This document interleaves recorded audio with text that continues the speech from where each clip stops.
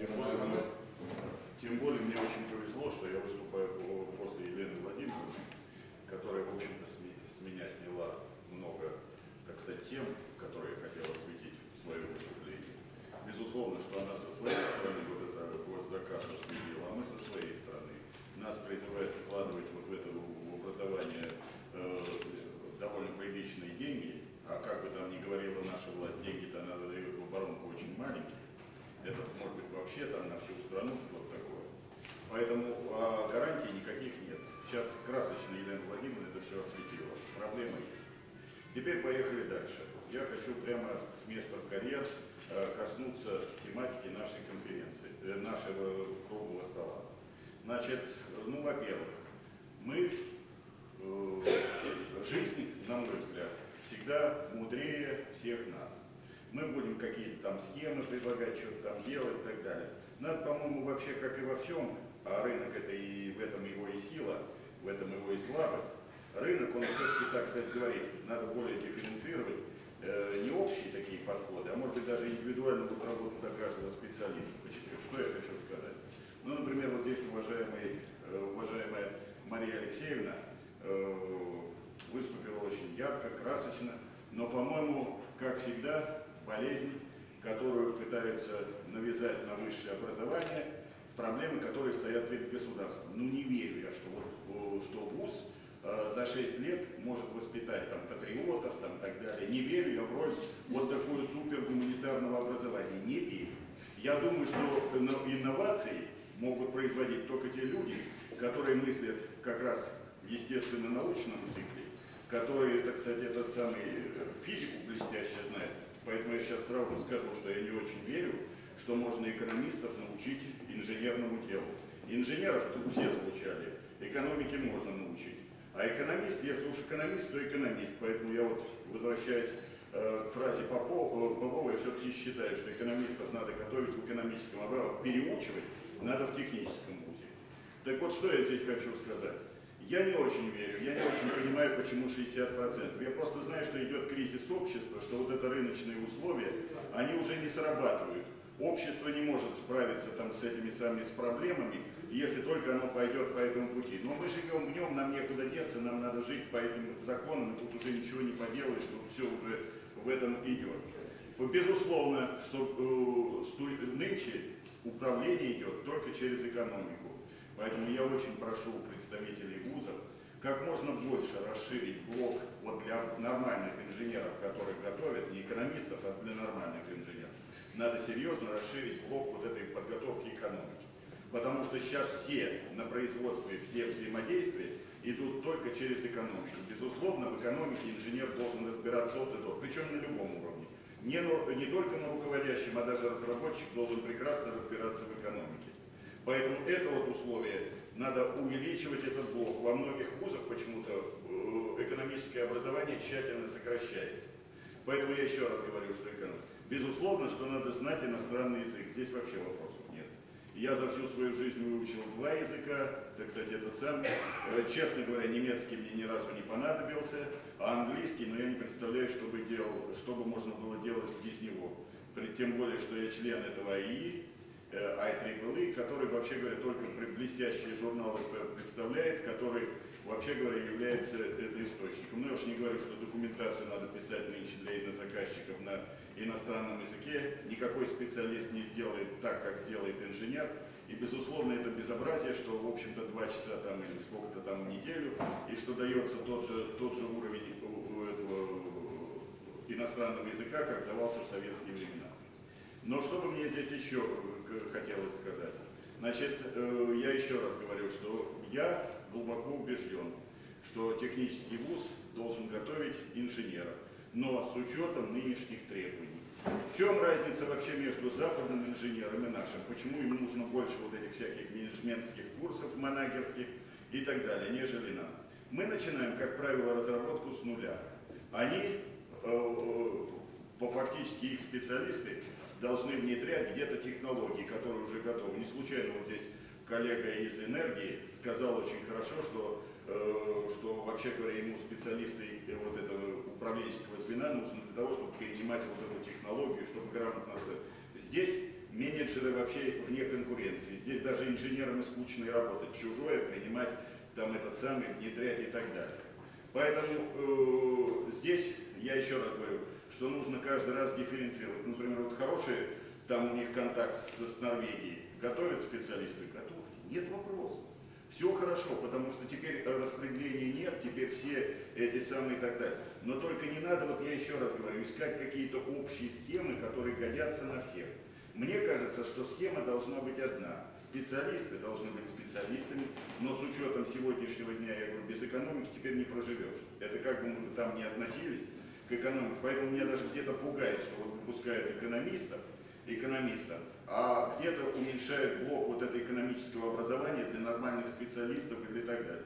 А я уже не раз встречался, когда приходят экономисты, вообще говоря, уж не надо так думать, что они сидят и все проекты пишут, вот даже супер, если он грамотный в техническом плане, все равно мы ему даем состав блоков, узлов, комплектующих, мы все ему пишем, а дальше они обсчитывают. И без нас, без инженеров, они вообще говоря, не, не очень-то чего-то там и могут сделать. Ни, никогда от них не дождешься, от экономистов, чтобы они весь проект сумели составить без нас. И причем наша роль там в этом составлении довольно приличная. По этой причине я еще раз э, хочу сказать, что конференция э, нужная, вот этот круглый стол нужный. Может быть, тут должны быть точки зрения, может быть, моя точка зрения несколько отсто, э, э стоит в стороне от генеральной, которую здесь большинство принимает. Но мне бы хотелось еще в завершении сказать, тем более, что напротив меня сидит Наталья Николаевна, э, а я именно в Приморском районе, я представляю Радар ММС, предприятие, на котором 1500 человек, у которого есть несколько филиалов по всей стране.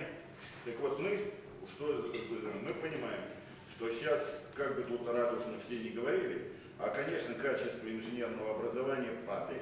И падает оно не из-за того, что там что-то ВУЗ там не так делает, да оно вообще падает, оно и во всем мире падает, и у нас тем более, потому что, что не говоря, финансово-спекулятивный сектор экономики, он более приносит деньги, туда будут рваться народ более этот самый, туда и в шоу-бизнес.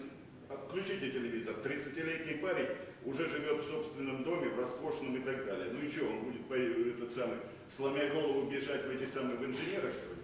Поэтому здесь я могу одно сказать. Мы как-то пытаемся этому процессу противостоять.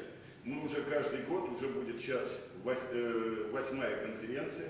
Мы проводим совместно с Дворцом пионеров, проводим конференцию «Будущее сильной России. Высоких технологий» для старшеклассников и для студентов первых курсов. Мы им раздаем, э, и руководителям, мы им раздаем книги, в которых мы пишем, там э, приглашаем ученых, а два года мы, я уже, например, там пишу лекции по физике, не лекции, а хрестоматии, где учетом, так сказать, пожеланий моего коллеги из Политехнического института, я, например, пытаюсь даже физику э, разнообразить цитатами стихов, цитатами из э, рассказов, значит, высказываниями, больше рассказывать о биографии и так далее. Я думаю, вот этот путь самый оптимальный, а не э, так, самый. Между прочим, доказать, что, во-первых, инженеры и физики не такие уж синие чулки, и они прекрасно, так сказать, разбираются и в искусстве, и в этой самой, или, по крайней мере, любят искусство. Прекрасно разбираться невозможно. Любят искусство, ценят его, они его уважают и так далее. Но и во-вторых, они все-таки пытаются там доказать, что интересно в инженерном деле. В этом году с 6 по 8 мая, марта будет следующая конференция. Я вас приглашаю. В принципе, э, к сожалению, я визиток не захватил. Здесь есть мои координаты, то есть Э, просим, так сказать, э, э, прийти на эту конференцию, может быть, выступить, может быть, участвовать. А те дети подведомственные, которые в физико-математических школ со всей страны, мы их тем более приглашаем. Мы им здесь все оплачиваем, кроме дороги. Плюс мы публикуем их труды, плюс мы их мы даем, как я еще говорил, вот в этом году они получат курс хрестоматию по физике по электричеству. То есть мы этому процессу разрушения пытаемся спасать. Мы не верим, что вот что-то это так уж остановит эту энтропию, которая идет, так сказать, в нашей стране. Но я вот еще раз говорю, что нужно каждому по капельке не задаваться общими там какими-то проблемами, что мы сейчас там, э, этот сам, в конце концов, Фурсенко прав в каком? Он стал разрушать образование, так очень честно поставил вот эту, как его называется, лозунг, что не будет он плодить творцов, что разрушит он советское образование. А, кстати, советское образование ориентировалось на физико-математическом цикле, а там творцы были, будь здоров, он страшно в этой комнате сидеть, какие мы тут э, потеряли, каких мы слой потеряли. Поэтому здесь это самое. Поэтому я еще раз хочу сказать, что, безусловно, вопрос очень тяжелый в этой конференции. Мое мнение вы слышали, я повторять его не буду. Ну а так, хочу только пожелать, что вот, по-моему, вот тот путь, мы на него ступили один раз, вот на который вот сказала Елена, Владимир, Елена Владимировна. Я могу только тут сказать, что он немножко опасен в каком плане. У нас техника очень сложная. Мы пытались с третьего курса набрать, с четвертого курса, набрать людей, э, вот этих студентов. Но дело все в том, что у нас трудности одни. Э, как, ну они вот участвуют в сборке, а они не работники такие, ну как вам сказать, ну и не сертифицированные. То есть военпред потом не подойдет к этим блокам, которые, в общем-то, не те, так сказать, делали. Это целая проблема. И вообще практику организовать для студентов, достойную, чтобы они там чего-то выучили. Мы вот здесь, я почему призываю, чаще надо вот собираться нам и чаще решать вопросы вот э, такого рода о нашем взаимодействии промышленности и вузов. Мы готовы идти на контакты. Я очень рад, что вот сегодня Елена Владимировна, я все ее цитирую, она, мне кажется, очень сегодня четко, может быть, потому что у нее наибольший успех вот, с точки зрения у ее вуза, по связи вот, вуза с промышленностью. Я вообще вот за эту физтеховскую форму, где с третьего курса люди должны работать на предприятии. Я когда-то, когда получал профессора, я был в ЛЯПе, и помню такую вещь, что все преподаватели боялись идти к тем вечерникам.